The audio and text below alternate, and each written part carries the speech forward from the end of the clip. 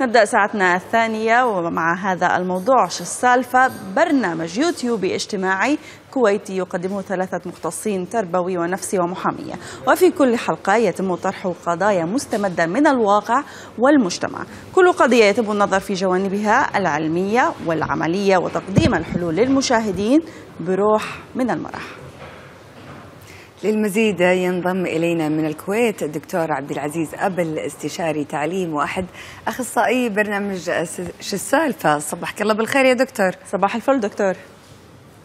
أهلا وسهلا. صباح الورد شلونكم؟ عساكم بخير؟ الحمد لله إحنا بخير. بس يا دكتور شو السالفة؟ آه، إيش البرنامج؟ يتكلم عن إيه بالضبط؟ إيش نوع القضايا اللي بتناقشوها في هذا البرنامج؟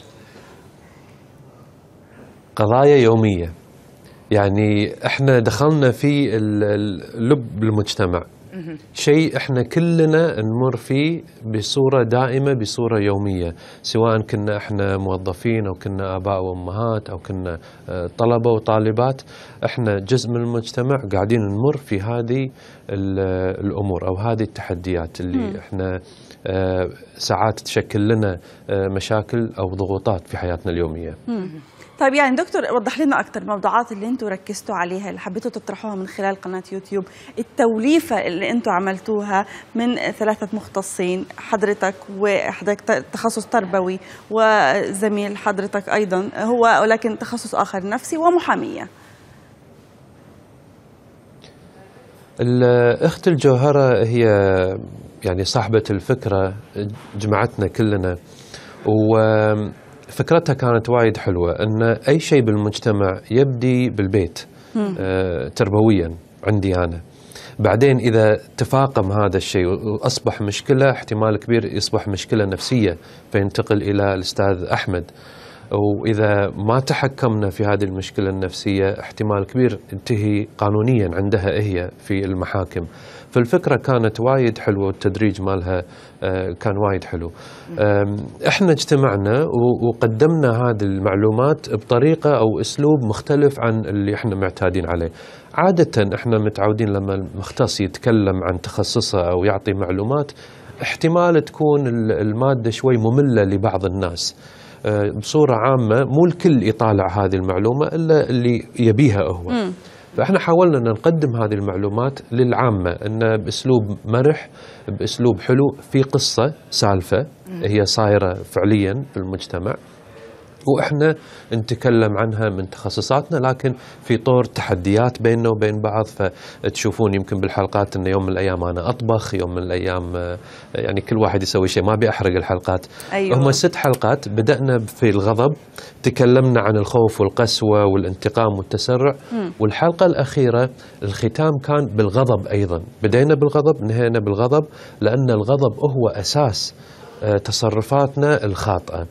والحلقة الأخيرة كانت آه، تصويرها كان بمكان عزيز علينا وايد وكان بدبي وكان لنا الحظ ان حالفنا الحظ ان إحنا نقابلكم أيضا جميل إحنا اللي دكتور. محظوظين طيب آه، دكتور يعني في ظل آه، التسطيح اللي بنشوفه على آه، وسائل التواصل الاجتماعي وعلى اليوتيوب والبرامج كثير اللي أغلبها تكون كوميدية وللمراهقين وجود ناس أمثالكم من المختصين اللي حابين يصنعوا محتوى توعوي ثري كيف ممكن يكون الموضوع يعني لأي درجة يحتاج مجهود إنكم توازنوا بين ال ال ال ال يعني المحتوى الثقيل وتخففوه شوية بنوع من الكوميديا أو آه، الترفيه السوشيال ميديا أو التكنولوجيا أو أي شيء بالعالم ممكن استخدامه بطريقتين طريقة صحيحة وطريقة خاطئة. فإحنا شفنا أو أنا شفت مثلا أن السوشيال ميديا في له المجال إن إحنا نقدر نغير من المجتمع واثر السوشيال ميديا جدا جدا عالي يمكن هو حاليا من أقوى الأدوات لتوصيل المعلومات. فحبيت إن أستخدم آه، السوشيال ميديا باستخدام آه، صحيح.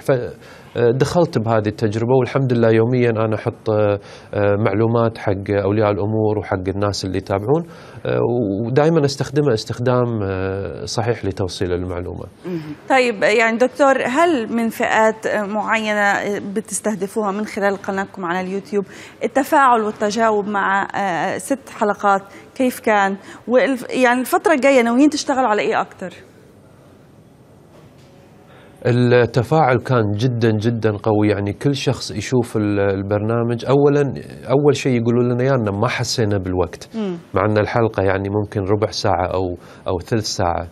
آه، يقولون ما حسينا بالوقت وكان جدا ممتع وما في ملل. لأنه ما يمدي الشخص يمل.